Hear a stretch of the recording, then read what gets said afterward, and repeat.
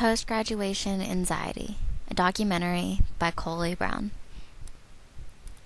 As finals loom over students at colleges across the country, so does post graduation stress.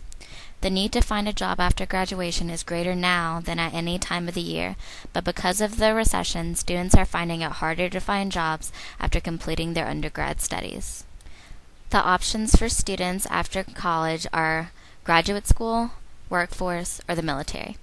Many seniors at Mars Hill College indicate they are continuing their college loans and educations by enrolling in graduate schools. Some students are jumping right into the workforce and hoping for the best. Other students, however, are enlisting in the military in hopes to find stability and to help pay off their student loans. MHC seniors say the post graduation stress to succeed in future endeavors is pressing down. Students who plan on attending graduate school say it's directly affected by a lack of jobs offered in their degree of study. Senior Igor Katrin is just one MHC senior planning to attend grad school.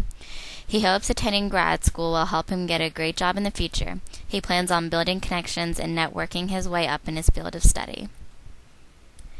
For other MHC seniors, the plan is to jump right into the workforce. Senior Paula Aragia's future plans include moving back home and getting a job.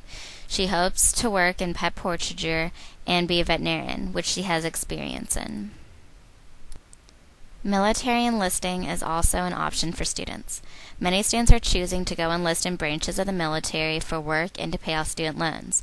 MHC senior and newlywed Brittany Allen Hewitt has enlisted in the National Guard and plans to attend basic training right after graduation. The stress to become financially stable is tough due to the current state of the economy.